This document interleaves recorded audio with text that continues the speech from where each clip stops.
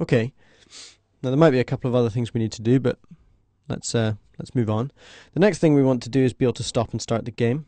So, or the test, should I say? So I'm just going to take that and I'm going to add it to our start button. So when I press this, test start stop is going to be called. And the way we'll tell if a game, if the test is running or not, um, is whether or not the icon is set to 6000, which we know is the play button, and therefore it's not running, or the stop button, in which case we know it is running, which is 6001. So if the icon of button start is 6000, then else and if. Okay, so uh, in this case, we want to start the game because it is not running. So the first thing we want to do is set the icon of the button.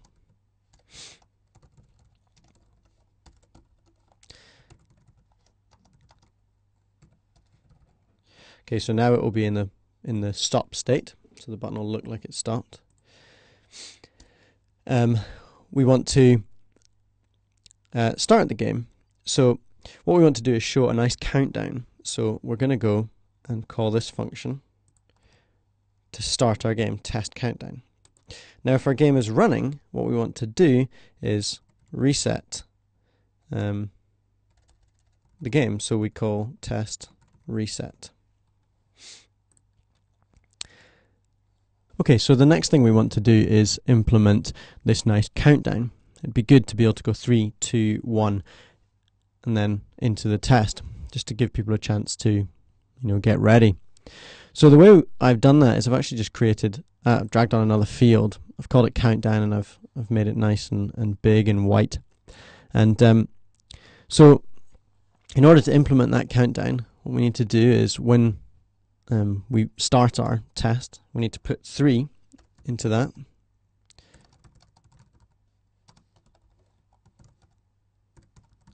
So put three into field countdown, show field countdown.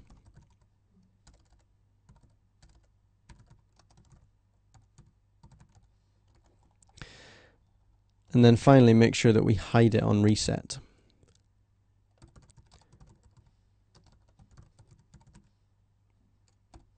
Okay.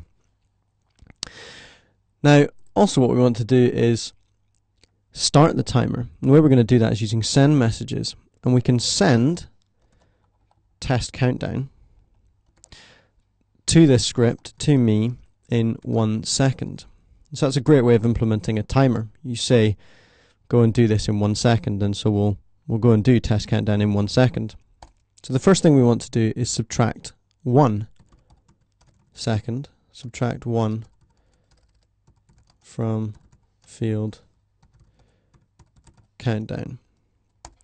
So that will um, decrement our counter. Next thing we need to do is check whether or not it's 0. If field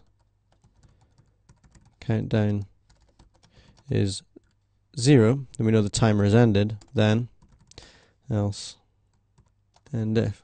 So if the timer hasn't ended, all we want to do is send test count, countdown to me again in one second so that it removes one more from our count. If it is zero, then we know our countdown is finished and the first thing we need to do is hide the count and we want to go ahead and start our test. Now because we want to randomize this test a little bit, we don't want to make it predictable. We don't want to um, show the white disk uh, in the same way every time. So what we'll do is we'll send a delayed test start message, and we'll do that again using the send command. We use test start, and we'll use the random function. So we'll give it 1500 milliseconds.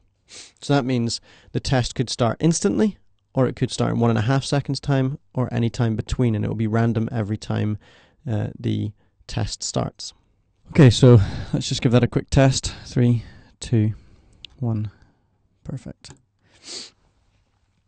Okay, so let's move on to test start. What do we want to do when we start our test? Well, firstly, we want to record uh, the the milliseconds when um, we start the test. So put the milliseconds into, and we called it s test start. S test start. We also want to show the circle. Um, so we'll go show graphic circle.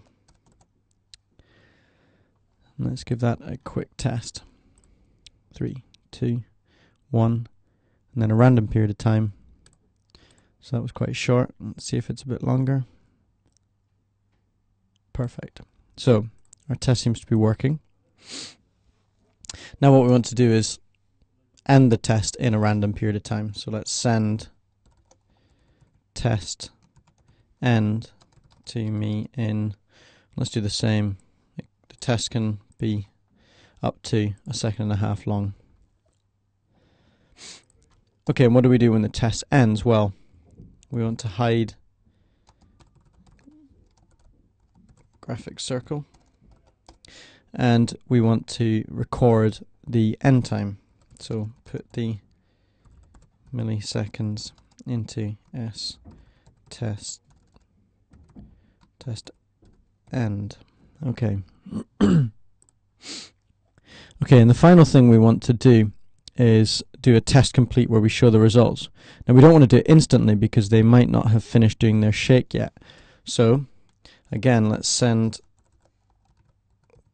um, test complete. This time not in a random time. Let's actually do it in 1500 milliseconds or a second and a half just to give them a chance to um, catch up. So just forgot the in. Okay, now now we need to handle p motion. So if p motion is shake, then so all we want to do when they shake is record the milliseconds when they perform their shake. So put the milliseconds into S um, shake start, which I think is what we called it at the top. Yeah, S shake start. And basically the exact same thing for the end. If P motion is shake, then put the milliseconds into S shake end. okay. The final thing we want to do is handle this test complete message, which we receive once we know all of the testing has been performed. And what we want to do is simply reset the play button and update the results. So we'll start by resetting the play button. We'll um, set the the icon of button start to 6000. And now comes the calculations. The first thing we want to do is calculate the reaction time 1. And we do that by um, checking the start time against the first shake time. So we'll go put s test start minus s shake start. And it's in milliseconds. So let's divide that by 1000. And we will also round it up to three decimal places. And we'll put that into a variable t start reaction. Now we want to do the exact same thing with the end reaction, so let's just copy that line and we'll change it to end, a shake end, and S end reaction. So now what we'll do is we'll um, calculate the final value, the final reaction value. Now T start reaction and T end reaction could be negative or positive numbers depending on whether or not the user was faster than the white or slower than the display of the white circle. So in our next calculation we need to make sure we use absolute values.